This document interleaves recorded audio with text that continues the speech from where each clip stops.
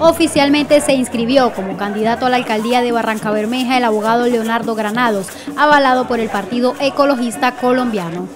Leonardo Granados asume hoy un compromiso con la ciudad de Barranca Bermeja en la transformación y en la lucha contra la corrupción escuchando durante 20 años y en esta lucha que llevo reciente, de que cada día la gente está cansada de esa estructura corrupta que nos ha venido consumiendo, hemos decidido poner nuestro nombre a consideración de los barranqueños.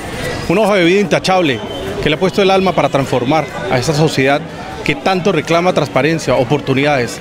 Por eso con todo el corazón, a todos los amigos y la coalición con el Partido Verde al Consejo, mis amigos que nos están acompañando, hoy consolidamos y nos inscribimos en la registraduría para decirle a Barranca Bermeja que Leonardo Granados pone su nombre a consideración para tomar las riendas de este municipio, para acabar con esa ratonera que hoy nos está consumiendo, para reivindicar la ética y la moral perdida en lo público. Es un compromiso grande que hoy asumo con los barranqueños. Bajo el lema Barranca Bermeja, Hechos sin corrupción, el ahora candidato habló acerca de su plan de gobierno.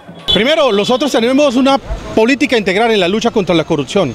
Barranca Bermeja necesita definitivamente acabar con la estructura corrupta. Hay una transformación importante en la estructura administrativa, pero ante todo, el corazón de un hombre que ha entendido que la política se hizo para servir y lo he mostrado sirviéndole a Barranca Bermeja.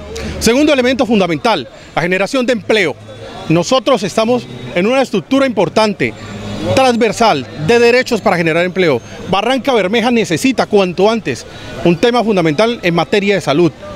Lo hice en el 2016 y lo ratifico como compromiso. Barranca Bermeja va a tener un materno infantil. Aquí necesitamos acabar con el paseo de la muerte a Bucaramanga. Ese tema que nos tiene a nosotros totalmente afectados lo vamos a tener en Barranca Bermeja.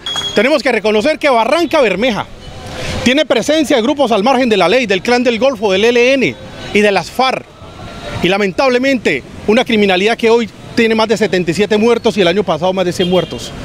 Nosotros proponemos un acuerdo de paz con los grupos al margen de la ley. Un acuerdo importante con el gobierno nacional. Granados aseguró que continuará en su lucha contra la corrupción en su búsqueda de ser el primer mandatario de los barranqueños.